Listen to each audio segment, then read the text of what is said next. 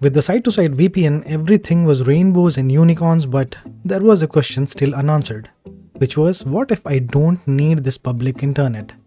And what if I needed something more secure? Like a private connectivity which could improve everything for better. Not exactly, but I hope you're getting the point. Thanks for joining in for today's session of AWS where we will talk about AWS Direct Connect and AWS Direct Connect gateways. And we'll see what it has to offer. So sit back, relax, and if you're ready, let's begin. Okay, let's read this statement first. So AWS Direct Connect is a cloud service solution that makes it easy to establish a dedicated network connection from your premises to AWS. That was a lot of words, isn't it? But the most important part here is to consider first is dedicated network connect. The second one is the name itself, which is direct connect. And the third one, that it is a cloud service solution. So when you combine the first two terms and you think about it collectively, you realize you're talking about something that is a direct connection and a network connection that is for all purposes a dedicated one. So what does it mean? So it means that you will have a secure channel using a dedicated network connection directly pointing to your AWS cloud infrastructure. So if I put this question to you, then how would you imagine it? Yes, you will think of this in a way that which can help you establish a private or dedicated direct connection between AWS and your data centers or your office networks. So unlike site-to-site VPN that we had discussed previously in the previous episode, so if you haven't watched that, then I would request you to please watch it. So we are not talking about a connection over a public internet space. And you should remember this point very clearly. And the third one is that it is a cloud service solution. When you think about cloud and service and solutions, you should always remember that this is something that AWS will help you with. And you don't have to do it yourself as it will provide you with a service that can help you create your own AWS Direct Connect. Don't worry, there are a lot of steps that goes uh, for creating the Direct Connect and we will discuss them in detail moving forward. So now let's read the statement once again. AWS Direct Connect is a cloud service solution that makes it easy to establish a dedicated network connection from your on-premise to AWS. I hope you got a better context to this statement once again as we have done a small explanation as well. And along with providing a feature set that can help you establish private connectivity between your AWS and your data centers, it also helps you to reduce your network cost. So imagine setting up optical fiber connectivity on your own or creating multiple data centers at various locations. That would be really hard and expensive, isn't it? And it'll also help you increase the bandwidth throughput and most importantly it will provide you more consistent network experience than internet based connections so as i told you that direct connection provides a dedicated connection from your on-premise or data centers to aws it basically lets you connect to the aws direct connect locations so as you can see here in the image as well and these dedicated connections can be partitioned into multiple virtual interfaces with the help of industry standard 802.1q virtual LANs and we know that virtual LANs are much more efficient compared to LANs as they are very much coupled with their broadcasting domain. And I don't want to confuse you here, so please just remember that using industry standard 802.1q virtual LAN, the dedicated connections can be partitioned into, into multiple virtual interfaces. And what's the best use of it then?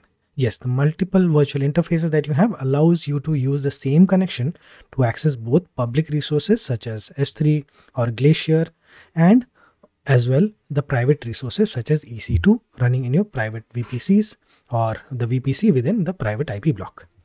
Yes, this is like one shot and two targets. Cool, isn't it? As you can see here in the visual as well, we have shown how the connectivity is established from the on-premise network to the AWS Direct Connect locations. And there are a lot of uh, locations also to choose from and they should be co-located to yours. So, and you can check the list in the documentation as well. And with the help of the multi-virtual interface, we are able to access both resources as I already told you. So one will be private and the other one will be public. Okay, so I hope you got some idea about this. Let's move on. So as I already told you that we connect our on-premise networks to the AWS Direct Connect locations, it is not that simple. And there are a lot of ground stuff also that goes in this as well. So let's try and understand that. So the main idea of connectivity in Direct Connect is that it links the internal network that you have to an AWS Direct Connect location over a standard Ethernet optical fiber cable. So when I say this, you might jump up to me and ask me that you just told us that we won't do anything.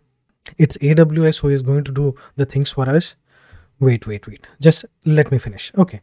The way the Ethernet optical fiber connection works is that one end of the cable is connected to your router at your location and the other one to an AWS Direct Connect router. And that is how you create the virtual interfaces. But before moving forward, we need to understand how it is actually done in the base level itself. So AWS provides us with a separate service altogether to create our AWS Direct Connect. And here we take the decision of what is the Direct Connect location that we are going to use and the connection size that you need. And there are two approaches to create the Direct Connect connection. One is a simple setup and the other one is using the wizard which gives us more options to customize which we will check out in the demo as well. So don't worry about that. Then we will create the connection request based on the requirement that we have. And after you have done this, as I already told you, then you will create the connection request based on the requirement that you have. So once you have done this, the second step or the second phase that comes along is the letter of authorization. And what we will do here is we will download the letter of authorization from the console. I know you might be getting confused here, but understand this very carefully. We are trying to set up a secure dedicated connection and not a shared connection. So for that, we need people to set up the connectivity for us from our network to the AWS Direct Connect location. For that, we need the help of AWS Direct Connect partners or AWS APNs, which are nothing but our AWS or Amazon partner networks, which is basically your global community of partners who leverage Amazon Web Services to build solutions and services for the customers. At every data center that AWS has or any of the services that they provide, they tie up with companies to provide a solution. For example, in India, we have Tata Communications for AWS Direct Connect, and don't get confused with AWS Direct Connect locations and APNs. Okay, they are different. So we need to make use of either AWS Direct Connect partners, that is the hosted connection, or, or you can make use of the APNs, that is the Amazon Partner Network. So once you download the LOA or the letter of authorization, you need to give it to the APN partners, partner network, so they get the approval to create the cross network connection at the AWS Direct Connect location, which is also known as cross connect. Remember that term very carefully. So that is basically called cross connect. So once you download the LOA or the letter of authorization, you need to give it to the partner network so they get the approval to create the cross network connection at the AWS Direct Connect location, which is also called as cross connect. So moving on, once all this is done, you can create the virtual interfaces so that you can access your private and public endpoints from the office space as well. So this is how the ground reality of the direct connection looks like. I know I might have missed a few things, but I believe this is more than enough. So don't worry about that. So the first step, create the connection request using the AWS Management Console. Then you download the letter of authorization and uh, pass it on to the Amazon APN or the Direct Connect partners. And you configure the interfaces, which is basically to create your public and private interfaces so that you can access both the resources. So private and the public one. So I hope you got the point. Let's move on. And now let's jump into some benefits of using Direct Connect. So the first one is reduced bandwidth cost. So with AWS Direct Connect, you can reduce the bandwidth cost with a huge margin because now you don't need to pay the intermediary cost because you have a direct connection to AWS. And then the data transfer rates with Direct Connect are mostly cheaper. So this is a very good thing to have. So the second one is consistent network performance. As we know with Direct Connect, you get the dedicated connection, which uh, reduces the overheads with network lags and propagations. In a way, it provides more stable and consistent network performance. So the third one is private connectivity to multiple VPCs. So this is an interesting point. So we spoke about multiple virtual interfaces, isn't it? So using that, we can also create connections to multiple VPCs as well. Scalability is very important even if you have a dedicated connection. If you want to avoid the low data transfer rates with VPN, you can replace it with your Direct Connect. And Direct Connect provides you with the 1 Gbps and 10 Gbps connections, which are way faster. And yes, you can provision multiple connections as well. And the fifth one is compatibility. So as this is a service provided by AWS, it's compatible with mostly all the AWS services that are over the internet like EC2, S3 and VPC. Let's move on. Okay, so next thing we need to understand is when to use Direct Connect. So the first use case is while working with large data sets. So as we have already discussed with Direct Connect, you get the dedicated connection which reduces the overheads with network lags and propagations in a way it provides more stable and consistent network performance. So when you're working with a huge data set or huge set of data and you need to transfer them, if you're using an ISP, it is going to be really expensive and constrained as well. But with Direct Connect, we can transfer it directly to the premises data centers and with much more faster speeds. So the underlining thing is that you actually bypass your ISP and you get your data transferred. And that is why it is very fast. And second case is real-time data feeds. You know that when it comes to real-time data such as audios or video feeds, latency can act as your biggest enemy or your biggest friend if it depends on what is the rate it is running on. So if it is high, then it is your biggest enemy. If it is low, it can be your biggest friend. And that's what Direct Connect helps us with. As this is a dedicated connection, you can control how the data is being routed. So in this way, you can reduce a lot of latency and make it more consistent. The third one is most obvious one that is a hybrid architecture. With Direct Connect, you can have your own private dedicated connections, which maximizes the benefit of cost and minimizes network overheads, ensuring that you have a secure connectivity from your data centers and AWS cloud. So now that we have some idea about the what's and whys of Direct Connect, let's come back to the how part and let's understand how does the Direct Connect work. So as you already now are aware that AWS Direct Connect links your internal network to an AWS Direct Connect location over a standard Ethernet optical fiber cable in which one end of the cable is connected to your router and the other one is connected to an AWS Direct Connect router, isn't it? There is a statement that is really interesting and important and has been mentioned in the documentation as well is that an AWS Direct Connect location provides access to AWS in the region with which it is associated. Okay, so I'll repeat that once again so you can just let it sink in. So an AWS Direct Connect location provides access to AWS in the region with which it is associated. And you might ask me how. So direct connection as you may not be aware of, but it is a global service. So let's clear that out first. But you need to make a choice on the location that you want to use as a part of your direct connect location. And that is the way it actually provisions resources closer to the customer that it has. That is why even though the service itself is global, the locations are specific to the region. There may be more than one direct connect locations in a region. There is no harm in checking that out, isn't it? So now that we have our AWS cloud, let's bring up our AWS Direct Connect location. So this is how the direct connection looks like. So you have the direct connection endpoint or the direct connect endpoint in the AWS cage. So cage is like your rack or site. I hope you're getting the point, isn't it? And which is connected to the customer or partner router in the respective cage and which creates a connection to the premises network or the customer network that you have. So here we need to discuss about two main components. One is the connection and the other one is the virtual interface themselves. So when we talk about the connection part, we know that we create a connection from the on-premise network to the AWS region or the direct connection uh, location.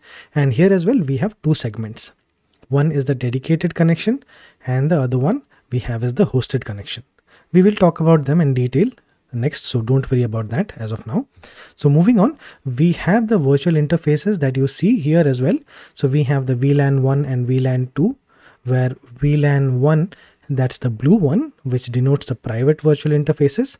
And we have the VLAN 2 which is green and denotes the public virtual interface which helps us to connect to the public resources such as S3 and S3 Glacier. And on the customer side, we have the customer router or firewall, which completes the connection as a whole. And the people sitting on the customer end are able to access the resources stored in the cloud, that is AWS. I hope you got some idea and how the direct connect works actually. So this may not be required so much in depth for the exam, but I wanted to share it nonetheless. It may help you in future when you will be working in AWS or with direct connect. So and then the customer side, we have the customer router or firewall, which completes the connection as a whole. And people sitting in the customer location or the on-premise location are able to access the resources. So you have the customer router which connects to the AWS Direct Connect location and the Direct Connect location actually gets connected to the AWS region that you have. So this is a completely secure line or a channel and this is completely dedicated and you are the only one who is going to use it. So that is much more secure for yourself. But yeah, it may cost you uh, for the connection and everything on for the usage, but it is way more secure than using the public internet space, which we were doing using the site-to-site VPN. Okay, so I just told you a few moments ago that I'll tell you about Direct Connect connection. So here it is. So let's talk about that. So we discussed in length about how AWS Direct Connect helps us to create a dedicated connection between the on-premise and the AWS Direct Connect locations. So what are these connections actually called? So we have two types of connections here. So one is the dedicated and the other one is the hosted one. And let's understand the differences here. So when you compare both of them, the biggest difference that you would see between them is that with dedicated connections, you as a customer can request for a dedicated connection using the console or API and AWS creates the physical ethernet connection with that single customer, that is you.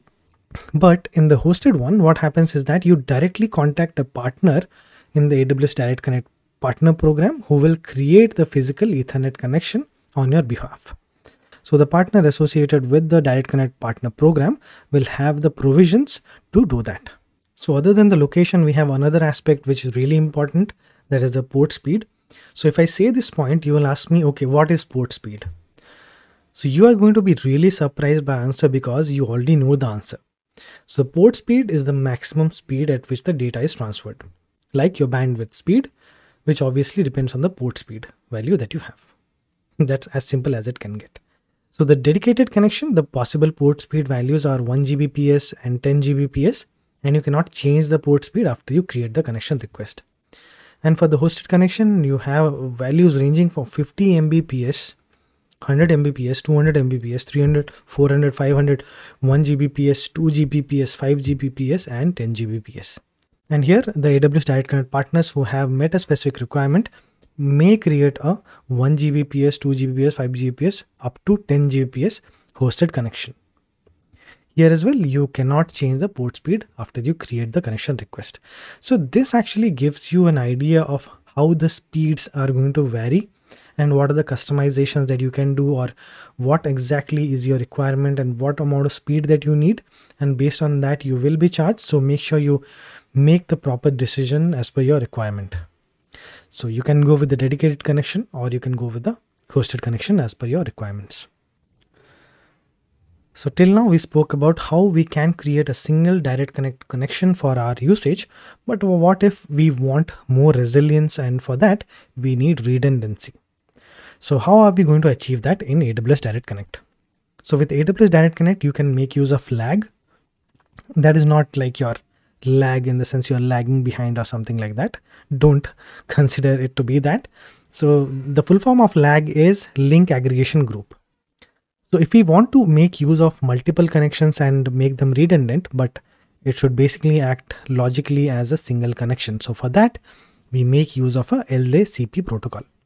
So that is link aggregation control protocol, which helps us to aggregate multiple dedicated connections at a single direct connect endpoint. Okay, so I'll repeat this once again. So using a LACP protocol, that is the link aggregation control protocol, we can actually aggregate multiple dedicated connections at a single direct connect endpoint. Remember, even though they are two different connection, we combine them into a single managed connection and thus increasing the throughput beyond what a single connection can provide. So LACP protocol existed before all this as well and we are just making use of that to aggregate connections so that we can benefit from it. It's not something that AWS has created on its own, just like other things as well, isn't it? That's cool. So you can see we have the single connection or a single direct connect endpoint here from the AWS side, and we have four dedicated connections. That is connection one, two, three, and four.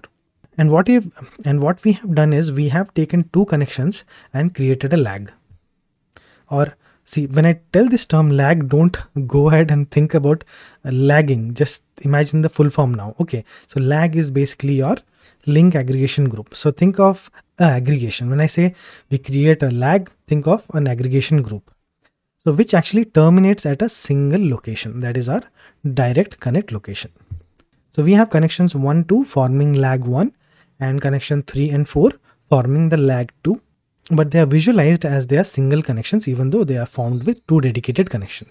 So with this you can just use and maintain two lags or two lag connections instead of using four dedicated connections. So that's quite impressive, isn't it? So now you have to just manage two lags, not four dedicated connections. But logically they are actually like four connections, but you have aggregated them into two each so that it is easy to use and it is highly effective with redundancy. So with this actually you can use and maintain two lag connections instead of four dedicated connections and that's really important for us. But before using this you should understand a few more caveats to this or else you might face issues and uh, or you might have to make some changes in your design. So first one is all connections must be dedicated connections and have a port speed of 1 Gbps or 10 Gbps by now you should be aware of what this port speed is. So i feel we are all good here because it can create a bottleneck. So it's advised to have same port speed for all the connections. All connections in the lag must use the same bandwidth. So that's quite uh, evident isn't it? The third point is that you can have a maximum of four connections in a lag. Each connection in the lag counts towards your overall connection limit for the region. So that completes your quota of four connections in a lag. So that is why it is said that you must have a maximum of four connections in a lag. And the fourth point is, is also very self-explanatory. All connections in the lag must terminate at the same AWS Direct Connect endpoint. Terminate here doesn't mean like terminator. We are not at war here. Okay, we are not destroying anything. All connections in the lag must terminate at the same AWS Direct Connect endpoint means that there is a connection point Okay, imagine there is a connection point where you connect your physical line and all the connections should be plugged into that point or the endpoint. So from there, other connections can be created or devices can be plugged in. And that's what connection termination means. So in the same way that I want to tell you that all connections in the lag must terminate at the same AWS Direct Connect endpoint. So coming back to yet another very important feature, we saw lags in the direct connect, which actually helps us with redundancy. But what if we want to connect multiple VPCs to a single direct connect endpoint and make use of it? Yes, you can do that. And for that, you need to make use of the AWS Direct Connect gateways. So before that, I want to tell you something about Direct Connect that remember that a Direct Connect gateway is a globally available service you can create the direct connect gateway anywhere in any region that you have and access it from all other regions. Remember this point very carefully. Okay so direct connect gateway is a globally available service or resource and you can create the direct connect gateway in any region and access it from all other regions. So having said that let's see the example here. So we have vpc in us west 2 that's on the left hand side. And on the right hand side we have another vpc at us east 1 and to have it connected to the direct connection endpoint or the direct connect endpoint, we need to create virtual private gateways across both the VPCs so that we can have a connection point channel which is secure. That is also called as your virtual private gateway associations as you can see in the uh, image as well, the highlighted ones. So now that we have created the virtual private gateways or the associations, the next thing is to connect the gateway to the direct connect location, isn't it? So for that, we have created the private virtual interface to connect our direct connect location and the direct connect gateway. And that location will obviously have a connection to the customer gateway, just like we had in the previous one. So in normal situation also, you will have a direct connect location actually connected to the customer gateway or the customer network, which actually creates the direct connect connection, isn't it? But here what happens is we are not connecting the direct connect endpoints directly to the VPCs. We are just using the direct connect gateways to connect more than one VPC to it. So as you can see, we have two VPCs, US West 2 and US East 1, and both of them have the virtual private gateways and the associations to the direct connect gateways. And that actually is connected using the private virtual interface to the direct connect location. And the direct connect location is connected to the customer gateway. So we have a channel here. Till the direct connect gateway, it's the single pass. And from there, you can connect multiple interfaces or multiple VPCs. So that's the whole idea. In this process, you have to consider a few things. So you need to choose the VPC that you're going to associate it with, and you need to ensure that you have your virtual private gateways created to create the associations. And once you have all this, go ahead and create your direct connect gateway. And there is one more thing that you need to remember here very carefully. There is no property of being transitive. And remember that even if you have association with your direct connect gateway, it doesn't allow you to connect to other VPGs or the virtual private gateways to communicate with each other. Okay, so it's just like not being transitive. So make sure you keep this in mind. It is not meant to connect to virtual private gateways, but instead it is used to connect your on-premise to the AWS cloud. So you might ask me, should I create direct connect gateways in a specific location? So don't worry about that. As I already told you, it is a globally available resource. You can create it in any region you want and access it from any other region. That is why you are able to connect the VPC1 and the VPC2 with the same direct connect gateway location or the connection. I hope that was clear. Let's move on. Okay, that was all about the concepts. Now let's get some hands-on demo for these services. I hope you are excited for this. Let's jump into the AWS console now. Okay, so this is your AWS VPC console. So if you're new to this and if you haven't watched the previous episodes in VPC, so just remember this very carefully that the current VPC that you have here is based on the location that you have. So this is the Mumbai location that we have here. So AP South 1. And the status is Mm, service is operating normally so that's well and good you don't have any problems and everything that you have created on your own or it has been set by default will be listed here so we previously have discussed about site-to-site -site VPN connections and virtual private gateways. And there is one more service that we need to discuss today. So that is direct connect. Just search here. So now there is a change in the UI that you can see that you get to search directly from here. Otherwise we used to go here in the service panel and we used to search the same. So now you can do it directly from here. So not a problem. So just click on direct connect so this is the starting page that you will get if you have not created any resources but if suppose actually I don't know what's the property of this website if you have visited it once and if you haven't created any resources or anything also it'll just take you to the actual page itself. So this is the one that actually you need to see if you haven't created any connections yet. So here it actually tells you that it lets you establish a dedicated network connection to AWS and uh, connects directly to an AWS device from your router at AWS Direct Connect location. So this is the connection that we want to create. So the router that you have for AWS will be at the AWS Direct Connect location. And your router will be it'll be at your place or your office at your data center. Okay. So don't worry about that. Then you have to just click on create connection. See. So here there are two options that we get to create the connection. One is the classic and one is the connection wizard so what does it say so the classic says that create connections one at a time best for augmenting an existing setup so we don't have this existing setup yet but if suppose i had to choose this then what I have to do, I have to provide the connection name like uh, my connection.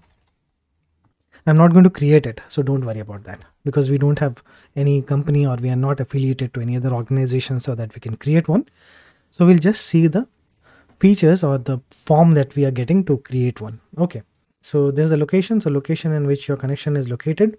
So you can just choose one from here based on the, so if suppose it is in Hyderabad, you can just click on Hyderabad. So as you can see here, this is the global service and it does not affiliate itself with any other region specific. So you don't have to worry about this. You can just create it in any region that you want. So this is your location and uh, this is the port speed that I already told you the desired bandwidth for your new connection. So it can be like 1 Gbps or 10 Gbps. Okay, so if it is on premise, so you connect through an AWS uh, Direct Connect partner, or you can just uncheck this. So it will just choose the APN partners. So if you want to choose the Direct Connect partner, you can just select that and you can choose the service provider. So with that, actually, I told you before that in India, we have Tata Communications working as the Direct Connect partner. The Tata Communications is the one whom you're going to hand over the LOA or the letter of authorization and these are the people who are going to create your connection and you have to hand over the LOA or the letter of authorization to them. And post which you can add additional settings like tag. So you can just add a tag by giving name and the value. So this is all about the classic connection. And let's suppose I want to have a more precise wizard like structure that, that I want to use. So I can just choose the connection wizard, which actually create connections using your resiliency recommendations recommended for new setups. So if this is your new setup, then just click on this. You see there are three options here. That is what I wanted to tell you before, but I did not say that because anyways, we were about to discuss this in the demo. So, uh, so the first one is maximum resiliency. So maximum resiliency for critical workloads. So if you can just read this, you will understand what exactly it is trying to tell you. So you can achieve maximum resiliency for critical workloads by using separate connections that terminate on separate devices in more than one locations as shown in the figure. This topology provides resiliency against device connectivity and complete connection failures as well. So what exactly it tells is that you have more than one direct connect locations. This endpoint fails or this endpoint fails. You don't have to worry about anything. It will have more than one to actually suffice your requirement and it will never let you fail or it will provide you the highest resiliency that you can get. And the next one is high resiliency. So if you choose this, what happens is, so it will have only one direct connect endpoint in each one. So, but in the maximum you get two, but here you will get only one and that will be connected to the customer. So here as well, you can achieve high resiliency for critical workloads by using two single connections to multiple locations and this topology provides resiliency against connection failures caused by a fiber cut or a device failure. So if this fails, this works. If this this fails and this works. So this also helps prevent a complete location failure. If this total location fails also, not a problem. You will be able to reach. And the next one is development and uh, testing. So this is this uses a single connection and you can see that you can achieve development and test resiliency for non-critical workloads by using separate connections that terminate on separate devices on one location. So this topology provides resiliency against device failure but does not provide resiliency against location failure because this is just set to one location but even though it is set to one location it has a termination endpoint for two. So it terminates to two endpoints. As it is already written that it terminates on separate devices in one location. So based on that even if one fails then you will have a resiliency of even if connecting to your customer data center but it is not that useful for the highly critical workloads. It is just for development and testing. So let's suppose I choose connection wizard and I choose development and testing. Let's suppose I click on next. It'll provide me with the options to actually configure the type of bandwidth that I need 1 GB, 2 GB, 3 GB, up to 40 Gbps. And I can provide the location that I have. So AP South 1, AP South uh, 1, yeah, so let's suppose I have SCT Hyderabad DC1, so data center 1, and the service provider that is Tata Communications. So if you want to choose any other, let's suppose I choose Mumbai. So you get more number of uh, service providers. Bharti Airtel is there, Net Magic Solutions is there, Reliance Jio is there. Jio, Jio people. So Sify is there, Vodafone is there, Vodafone Idea is there. I think they've collaborated now, so it's not a problem. Why? Why? VI so that's it. And uh, you have additional settings like add tag like previous one. And you can just click on next. So here as i already told you that it will provide you two connections in the same location that you have. And for resiliency of course. And uh, this will cost you an estimate of 0.60 dollars per hour and monthly 439.20 for port usage and additional data transfer charges. Okay. Billing will begin once the connection between the aws router and your router is established or 90 days after you ordered the port, whichever comes first. Okay, so these are the ones who will actually do that job for you. Once you create this, then the next step will be you can get the LOA or the letter of authorization.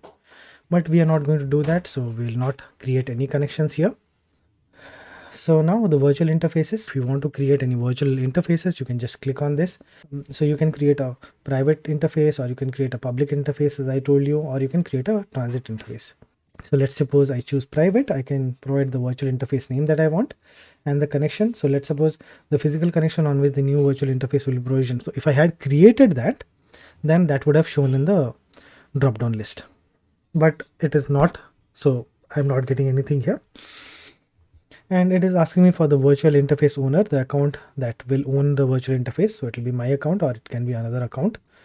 Okay, so uh, you can either choose a gateway type of direct connect gateways that is recommended, or you can use the virtual private gateway.